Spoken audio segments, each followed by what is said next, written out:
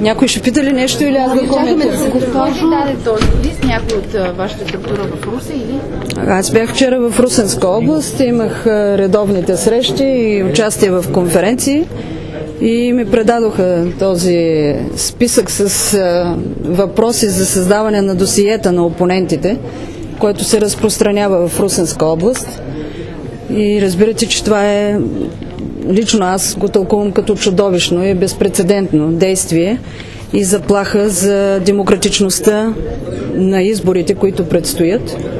Смятам за абсурдно, че може да се събират такива лични данни за опонентите, политическите опоненти и това в една страна членка на Европейския съюз, една страна, която с доказана демокрация Разбирате, че ако това се приложи в практиката на предстоящите избори, ние трябва да изобщо да забравим, че има демокрация, че наистина демокрацията е в реална опасност, че няма свобода, нито политическа, нито на медиите, нито на обществото. И е, смятам, че трябва да бъде алармиран и Европейския парламент, и посланниците на страните членки в България, и съответно българското общество трябва да знае, че е, наистина трябва да се противопостави на такъв е, зловещ, чудовищен начин да се потъпкат политическите и истински демократични права на гражданите в България. Госпожо Плукчиева, след като сте получили тази информация от член на БСП, както разбрахме на конференциите, на които сте присъствали, откъде сте сигурна, че тя е автентична? Това е един лист, който всеки един от нас би могъл и сега да напише на компютър.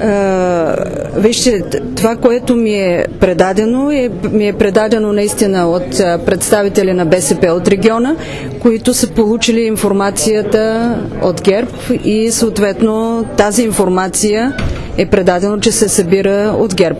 Разбира се, че аз ще предам този документ и както и господин Станишев обяви, ще се направи допълнително разследване, за да бъде изключително достоверна информацията, но самия факт, че се разпространява един такъв въпросник, Разбирате, че това е безпредседентен случай, който в 20 годишната история на България не се е случило. Той къде се разпространява?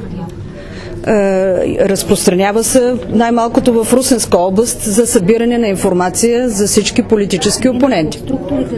И сега питат има неща, които сами разбирате, че няма аз как да знам какви указания би трябвало тези указания да се търсят от ръководството на ГЕРБ и да се, да се знае по какъв начин и с какъв стил работят. Но аз апелирам и бия тревога по фактологията и по това, което изнесох и по което вие разполагате с документа, защото си припомнете, че от 20 години ние провеждаме избори, но такъв прецедент не сме имали. А как хора от ГЕРБ дават на представители на БСП? Това стана ли ясно? Аз не мога да отговарям на тези въпроси. Аз вече казах по какъв начин съм получила документа.